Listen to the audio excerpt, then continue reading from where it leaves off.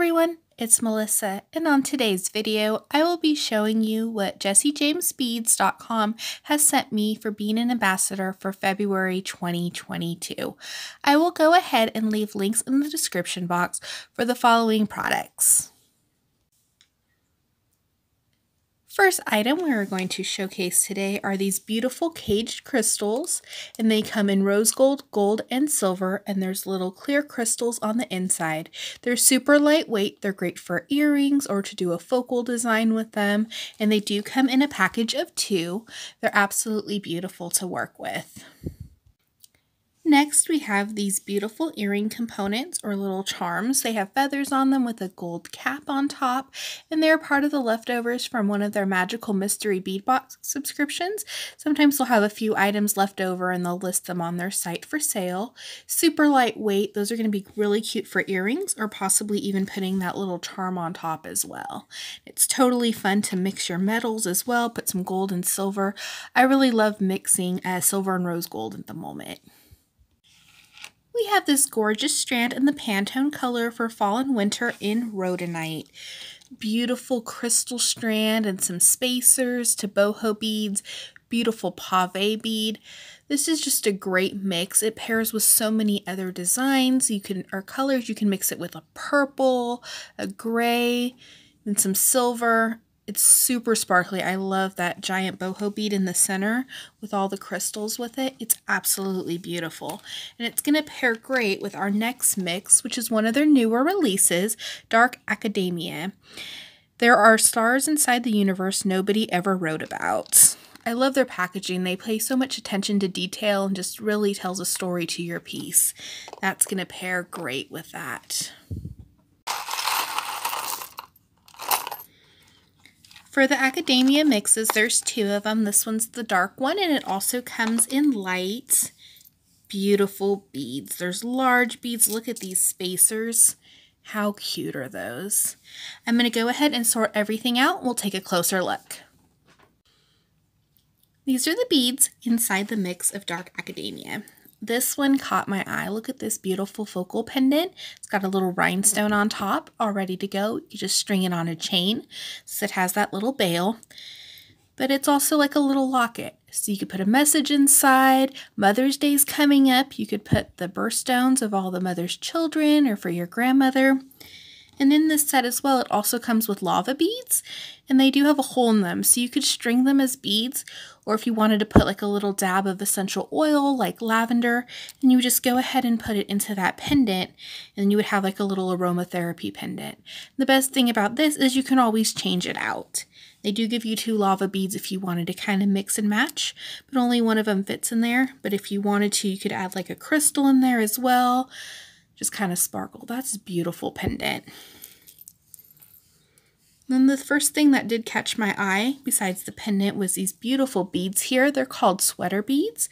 And if you look closely at them, you can see the fibers of them. Hopefully that picks up on the camera.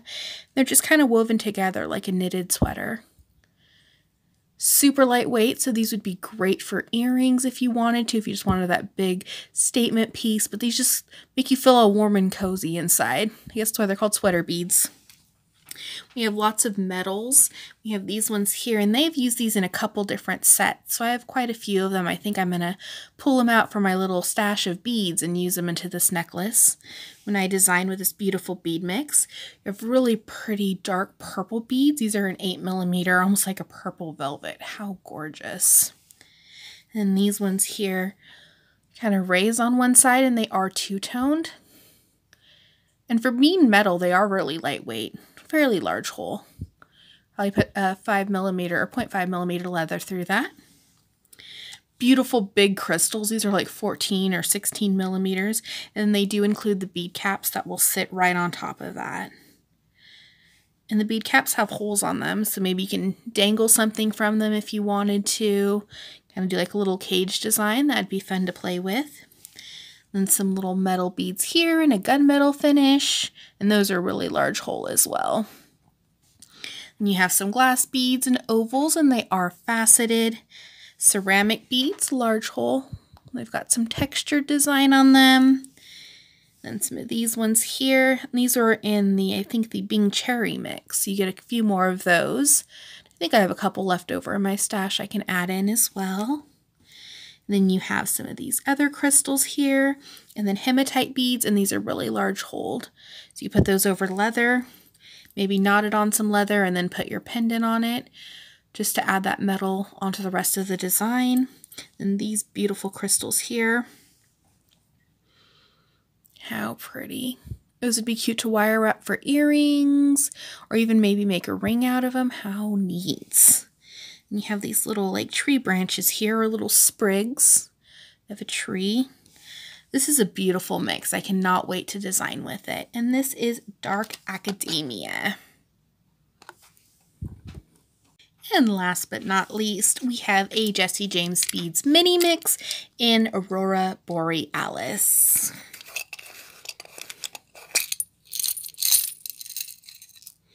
Always amazes me how many beads can fit into one of those little mini mixes.